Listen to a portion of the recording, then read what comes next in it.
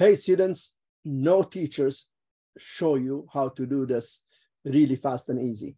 It's called the secrets cross multiplying, but a lot of students don't understand how to cross multiply.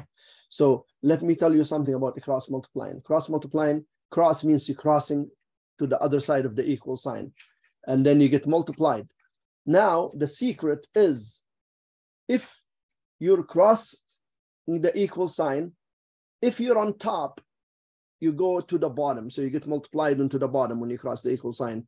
If you're on the bottom and you cross the equal sign, you have to get multiplied to the top. So how does that work? Let's go to the first question. And trust me, if you learn how to do this, lots of things become easier in math. So here, this eight, it's on top because all of this is on top of one. So if this eight crosses, then it has to cross and go to the bottom. And so cross multiply it to the bottom. Then you're isolating the x already, and you have 2. 8 times 3 is 24. And then, of course, you need to simplify this by reducing, and that gives you 1 over 12. That's how easy it is. Now, let's go to the next one. Cross multiplying.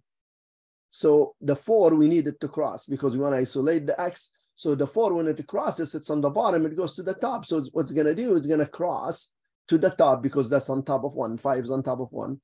And it gets multiplied. So therefore, x equals 20 because 4 times 5 is 20.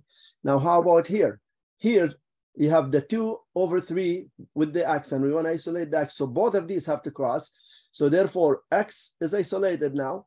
3 gets cross, crosses and goes to the top. 3 times 1 is 3.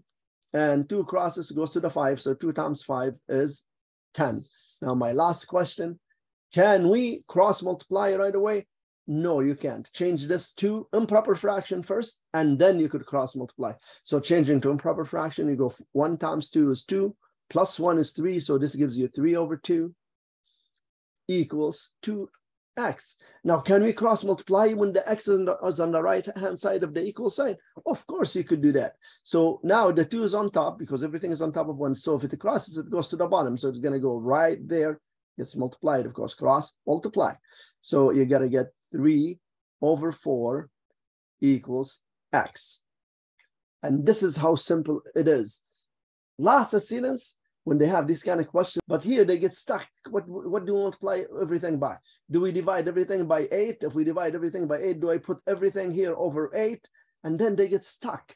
Learn this. Trust me, it will save you a lot of time. It makes algebra a lot easier that, than what you've been taught in school. Enjoy this method use it. It will help you a great deal from grade seven all the way to grade 12. And I bet you even some students in grade 12 are not able to do this. So check it out.